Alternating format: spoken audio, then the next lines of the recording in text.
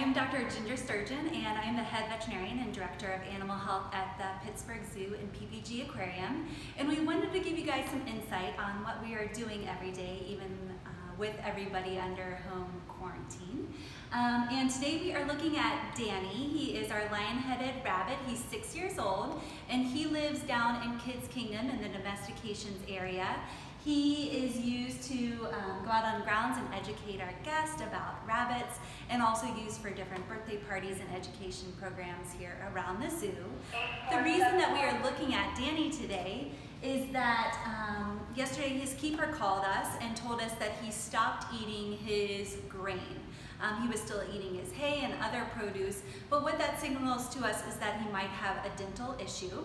The keeper then um, looked into moistening his grain with um, water and he rapidly snarfed it down. So we know that his appetite is still good, that he just doesn't prefer the hard grain right now. So what we're gonna get ready to show you is um, how we anesthetize our rabbits. And you'll see that um, we'll put them into a bunny burrito, kind of wrapping in the towel, making sure that they're safe as we administer the gas anesthetic. Um, and from there, then we'll show you how a rabbit dental exam occurs, and we'll see if Danny has any dental abnormalities to explain his, his clinical signs. I'd like to introduce you to two of our technicians here at the zoo. This is Libby Galvanic, she is our head veterinary technician, and this is Lauren McCutcheon, she is our hospital veterinary technician. And you can see here, Danny, we have him wrapped in what we call a bunny burrito. Really, it's just a towel wrapped around him. Um, rabbits have fairly weak backs overall, but really strong hind limbs, and so we need to exercise a great deal of caution when we hold them so that we don't accidentally injure them. And you can see that Danny has a face mask on where um, Libby and Lauren are administering the gas anesthetic. And here at the zoo, we use a gas anesthetic called isoflurane. So once Danny um, becomes asleep, we'll go ahead and hook up monitoring equipment um, to him and then start his dental exam. All right, Danny is now under a surgical plane of anesthesia and we still have his face mask on. Maintaining the flow of the isoflurane to him. And I wanted to show you guys some of the equipment that we use for Danny. Now this is a pretty um, basic, straightforward procedure that Danny's undergoing, but you can see Libby is using a stethoscope to take Danny's heart rate to listen for any murmurs or arrhythmias. That means a, an abnormality in the rhythm of the heart. And then to also make sure that he is breathing under anesthesia, okay, monitoring his respirations. Over here we have some of the common dental instruments that we use for rabbits. Um, so see, these are the different um, files. And we'll see sometimes rabbits get points on their molars. And all that means is that their molars and, and incisors of rabbits are continually growing. And so if there's any abnormality in how they chew, part of the tooth could grow while part of the tooth gets ground down. And then um, you develop points, and I can show you a picture of those later on to better explain that, but those are the files. These are some of the oral speculums, or how we are able to keep um, the rabbit's mouth open. Now rabbits have a really tiny oral cavity, a really tiny mouth, so we need to use a lot of different things to help spread their cheeks open and be able to get a good view in there. Um, this is an instrument that we use, and you can see the little gnaw marks on it from our previous rabbits. Um, but as an oral speculum, it's got a magnifying glass on the end and allows us to look and make a quick um, examination of those teeth to actually see if there's any dental abnormalities that we need to address. All right, so Danny is now in position for his dental exam. So we're gonna kind of just move that tongue out of the place. Rabbits have a big fleshy tongue. And then we'll go in here and see actually if we have any dental disease in little Danny.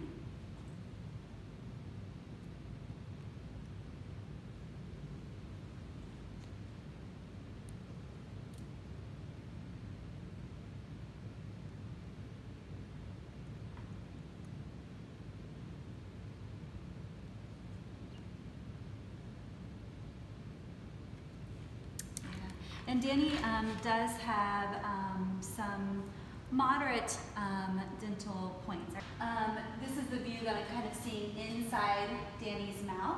right? Um, and so his tongue is right here in the middle, and then we have lower molars here. Molars are those big kind of chewing teeth that we all have. And then the upper molars here that I can also see.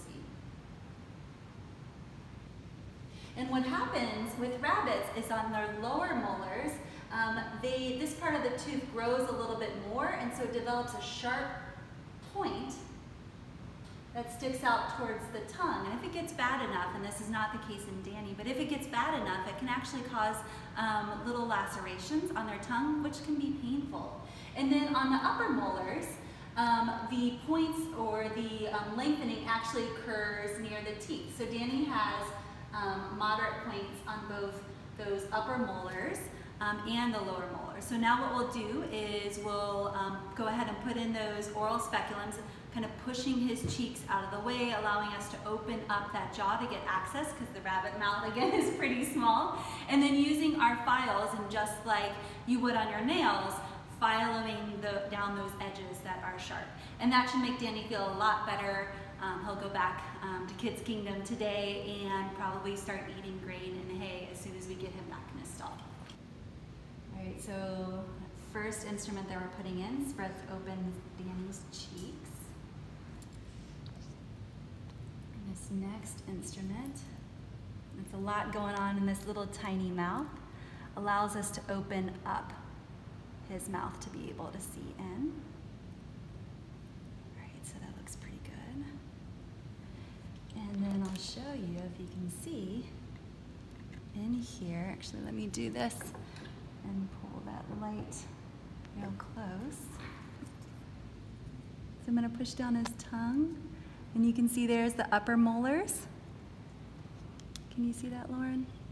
And then there's the lower molars. And see how those kind of come to a point there near his tongue? So what we want to prevent is the molars from cutting his tongue at all. So that's what we'll be filing down. You can hear Danny breathing nicely.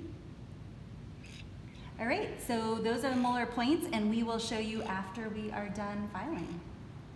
He did great um, for his dental. And if you look inside here in the mouth and pull in his tongue to the side, you can see that lower arcade of molars is now nice and flat. There's no more points or, or sharp edges that could um, cut his tongue potentially. So I think he's gonna feel a lot better after this.